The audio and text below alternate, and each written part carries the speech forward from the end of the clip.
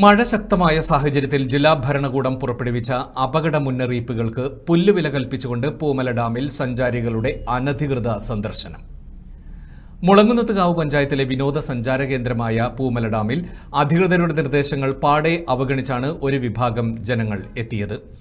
കനത്ത മഴ തുടരുന്ന പ്രതികൂല കാലാവസ്ഥയിൽ വിനോദസഞ്ചാര കേന്ദ്രങ്ങൾ പതിനെട്ടാം തീയതി വരെ അടച്ചിടണമെന്ന ദുരന്ത നിവാരണ അതോറിറ്റി ചെയർമാനായ കളക്ടറുടെ ഉത്തരവിനെ മറികടന്നാണ് യുവാക്കൾ അടക്കമുള്ള ഒരു വിഭാഗത്തിന്റെ വിളയാട്ടം.